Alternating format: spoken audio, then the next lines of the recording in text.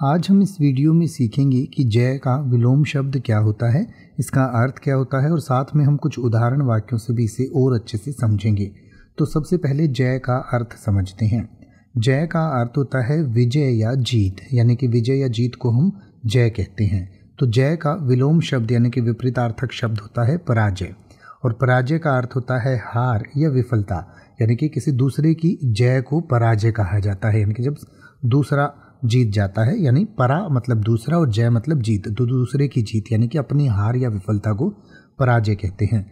तो आइए अब हम जय और पराजय को कुछ उदाहरण वाक्यों से समझें। जैसे कि आप ये कह सकते हैं कि उसकी मेहनत ने उसे प्रतियोगिता में जय दिलाई, या फिर आप कह सकते हैं जय का उत्सव सभी ने मिलकर मनाया, या फिर आप कह सकते हैं उसने पराजय स्वीकार नहीं की, या फिर आप कह सकते हैं कि पराजय के बावजूद उसने हिम्मत नहीं हारी।